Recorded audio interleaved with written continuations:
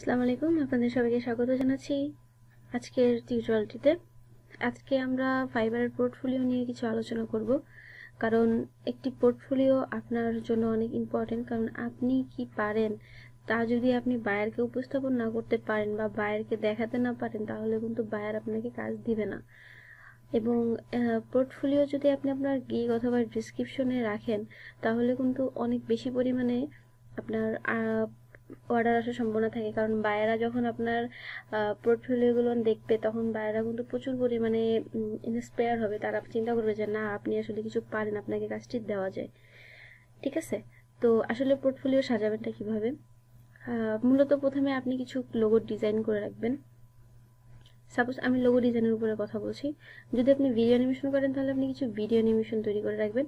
যদি আপনি এসিওর উপরে কাজ করেন, তাহলে আপনি কিছু সাইট রেডি করে রাখবেন যে সাইটগুলো আপনি বায়ারদেরকে দেখাতে পারেন যে এগুলো গুগলের র্যাঙ্কিংয়ে আসছে বা আমি এসিও করার পর এগুলো আসছে, হুম। তো চলুন আগে লোগো ডিজাইন বিষয়টা নিয়ে একটু আলোচনা করি। সেটি হচ্ছে, আপনি কিছু লোগো ডিজাইন করলেন। আপনার কিছু লোগো ডিজাইন করার পরে আপনি সেগুলো, আমি একটু ব্রাউজারে যাচ্ছি ফ্লিকার ডট কমে আপনি আপলোড করলেন। এখানে অবশ্যই আপনাদের সাইন আপ করতে হবে। সাইন আপ করে দেন আপনার একটা অ্যাকাউন্ট ক্রিয়েট করে এখানে আপনাকে আপলোড করতে হবে এবং আপনার যে লিঙ্কটি এই লিঙ্কটি কপি করে রাখতে হবে। এখানে দেখেন আমি প্রচুর লোগো পাচ্ছি। এই যে যে লোগোগুলো আছে না, এগুলো সব, বেশিরভাগ লোগোই কিন্তু হচ্ছে ফাইবার ডট কম থেকে লোকজন তাদের পোর্টফোলিও হিসাবে এখানে রেখেছে।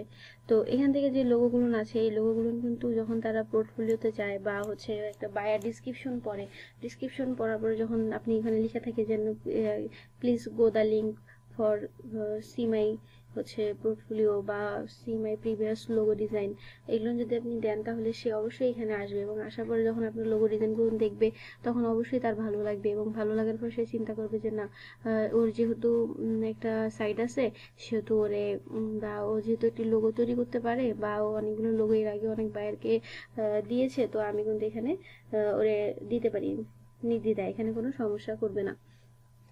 ঠিক আছে? তো এটি গেল হচ্ছে আপনার ফ্লিকার ডট কম লোগো ডিজাইনের উপরে।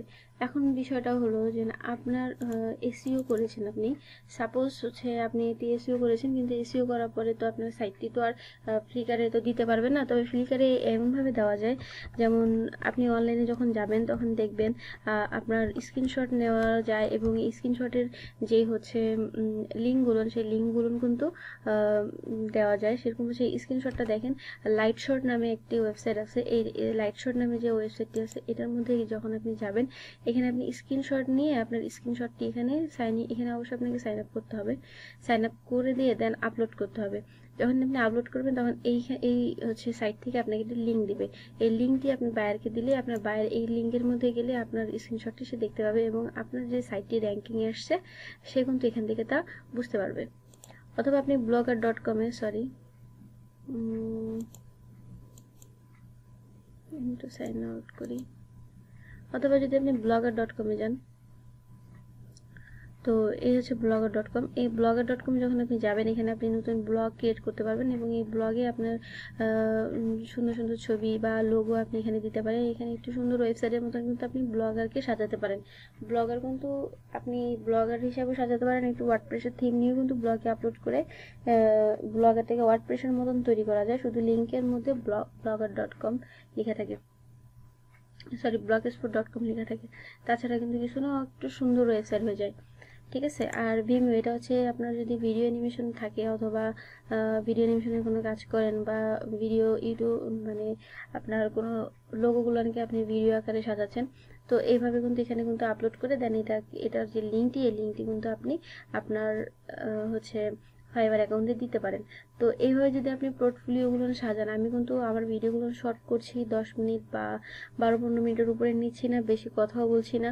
এই কারণেই বলছি না যে হচ্ছে বেশি কথা বলে আসলে শেখা অনেক কম হবে, কিন্তু কথা বেশি হবে। যার কারণে আমি আপনাদের জাস্ট যেগুলো দরকার, আমি সেগুলো আপনাদেরকে জানাচ্ছি।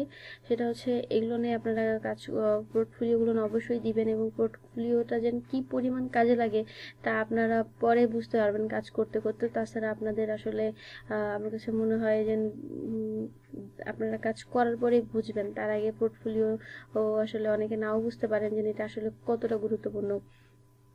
একটি পোর্টফোলিও যেমন আপনারা সাপোজ মনে করেন বা ধরে নেন যে, একটা ওয়েবসাইট হচ্ছে আপনি লোগো ডিজাইনের সার্ভিস দিচ্ছেন, হুম? তো আপনি একটা ওয়েবসাইট ক্রিয়েট করলেন।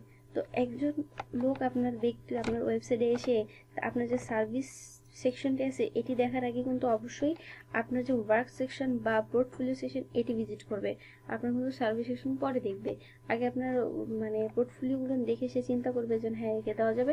দেন আপনার সার্ভিসটা নিয়ে এসে চিন্তা করবে।